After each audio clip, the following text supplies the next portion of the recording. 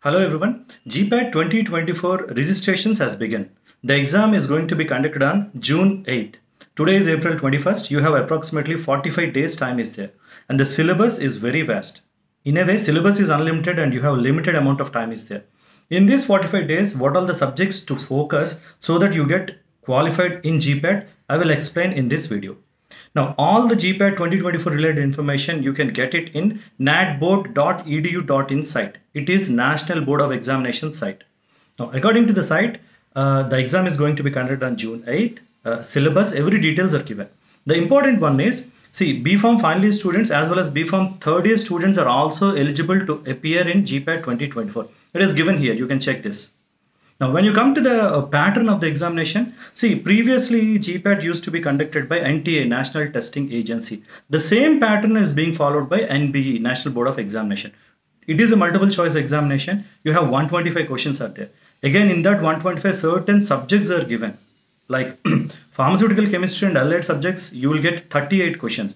Now understand when they say allied subjects, you have inorganic chemistry, organic chemistry, medicinal chemistry, analytical chemistry, and biochemistry all these are pharmaceutical chemistry lead subjects.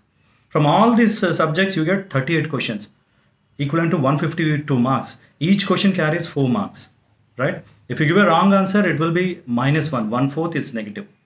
So this is the pattern. Again, pharmaceutics and allied subjects, again 38 questions are there. What are allied subjects? Physical pharmacy, biopharmaceutics, the regular pharmaceutics, all of them are called as pharmaceutics allied subjects. And then you have pharmacognosy for 10 questions. And then pharmacology and allied subjects. Anatomy, physiology, pathophysiology, pharmacology. This is what becomes allied subjects. So again, from this, 28 questions will be given.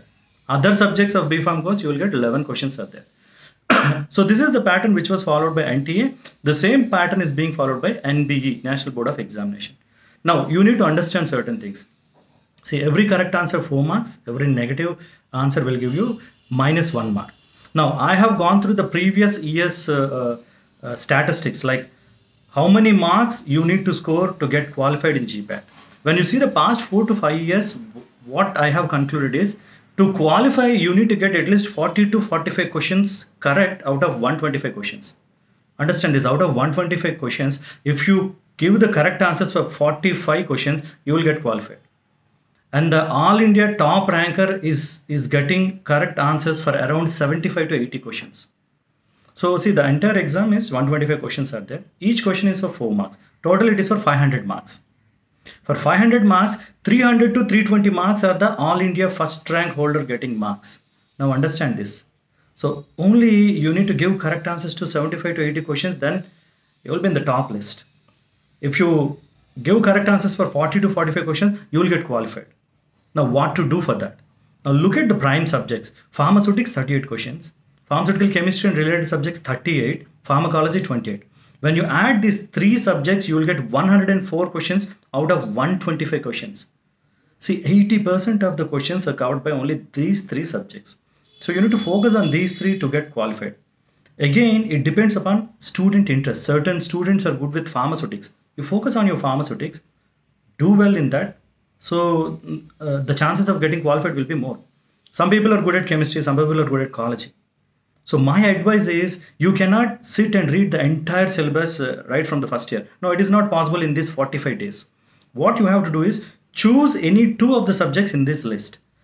Either pharmaceutics or chemistry, chemistry or ecology, ecology or uh, pharmaceutics. If you can choose two out of these two, definitely you will do well and there is high chances of getting qualified in GPAT examination.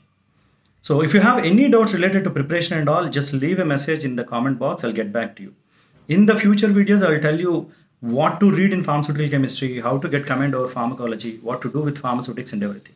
But understand the pattern. So these three are the prime subjects. Focus on any of the two.